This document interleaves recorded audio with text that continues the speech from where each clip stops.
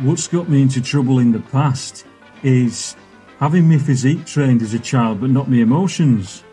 I've altered the physical side to the intellectual side, if you want, the academic side, using my brain instead of my body. It's all the same machine, and I didn't realise that I got. I love you. Just bear with me, love. I'm just going to ask kids what they want. All. I'm going to tell you this, and you better start remembering what you've been doing. And when I ask you a question, I want an answer. Yeah, I don't want none of that dickhead vacant. Lock me in my cell. I won't lock in your cell. I'll beat you. Fucking don't know how close you are. You to a good hiding. A proper 16-year-old good hiding.